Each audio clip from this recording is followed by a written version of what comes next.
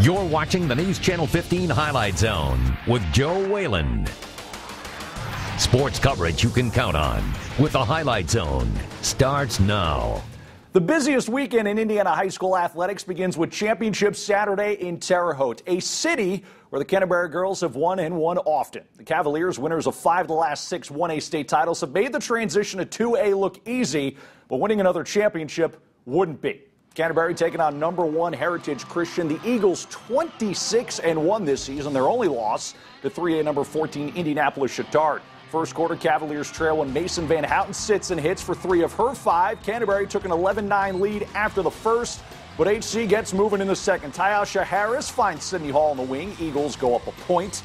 Kendall Fincher counters 24 points and a state 2A record 16 rebounds for the senior in this one, but Harris was her equal today. Steal and the score the other way. Canterbury was down 22 to 18 at the half. Third quarter time, Catherine Smith working the paint with the hook. Pulls the Cavs within four, but they would fall behind by nine points.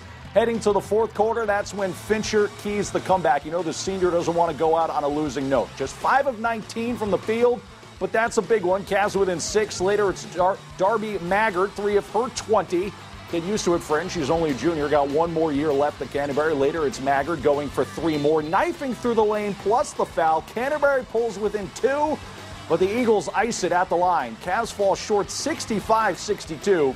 Randy Spieth continues our coverage from Terre Haute. Canterbury's run at a three-peat came up short here at the Hulman Center, the same site where the Cavs won the last two 1A state championships. The team actually trailed by four to start the second half, but that's when they got a big spark from junior Catherine Smith. The center scored all of her 10 points in the second half today, but every run the Cavs made, the Eagles answered. The jump up to 2A just a little too tough as Canterbury comes up three points short. We just didn't get back on defense, and uh, we we let them score. Basketball is a game of runs, and um, I thought we came back from that run really well. We battled back.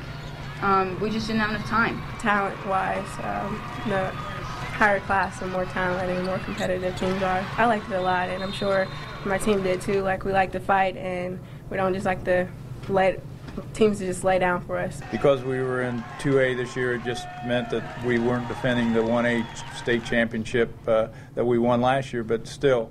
Uh, to be here is an honor and a privilege.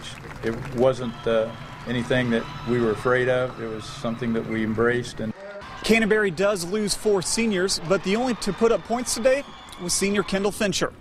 If the Cavs look to get back here to Terre Haute again next season, they'll once again have to do so in 2A. Reporting from the Hulman Center, Randy Spieth, News Channel 15 Sports.